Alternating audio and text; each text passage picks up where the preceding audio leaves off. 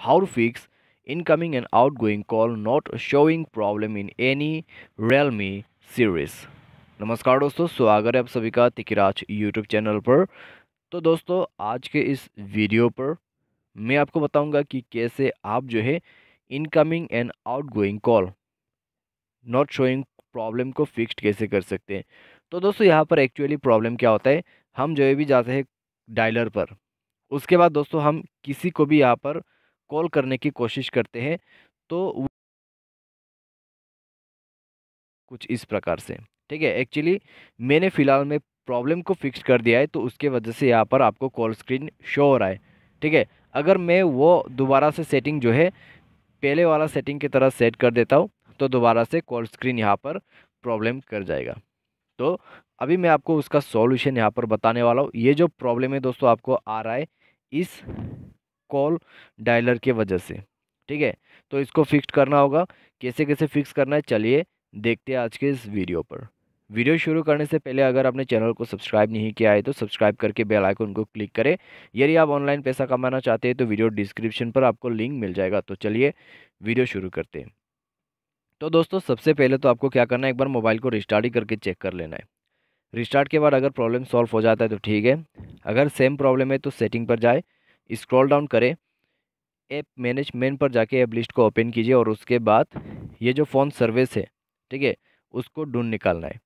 तो यहाँ पर हो जा, होना चाहिए पी एच तो ये हो गया फ़ोन सर्विस फोर स्टॉप करते हुए आपको स्टोरेज यूज़ पर जाना है क्लियर डेटा करके ओके कर देना है। उसके बाद बैक करें परमिशन पर जाइए, सारे परमिशंस इसका अलाउ कर दीजिए, ठीक है।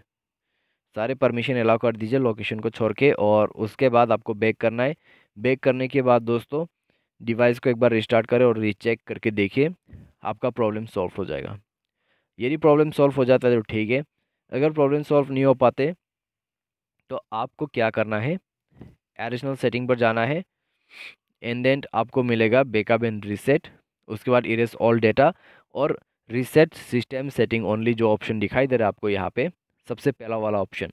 तो उसमें क्लिक करते हुए अपने मोबाइल के पूरे सेटिंग को रिसेट करके देखिए तो इससे भी आपका काम बन जाएगा, ठीक है?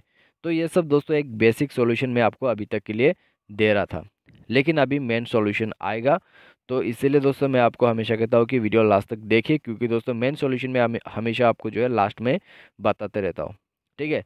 तो अभी जो है मेन सॉल्यूशन आपको करना क्या है, आप दोस्तों अपने जो मोबाइल सॉफ्टवेयर है, ठीक है, उसको अपडेट करें।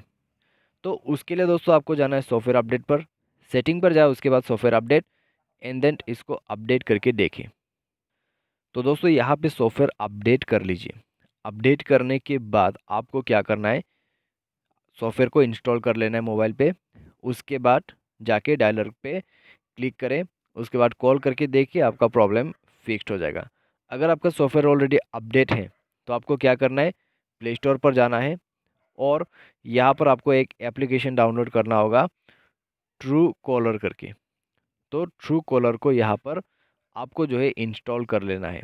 इंस्टॉल करके लॉगिन वगैरह कर लीजिए नंबर और ओटीपी भर के और उसके बाद आपका प्रॉब्लम फिक्स हो जाएगा। और ट्रू कॉलर को ऐसे डिफ़ॉल्ट आप यूज़ कर सकते हैं, ठीक है?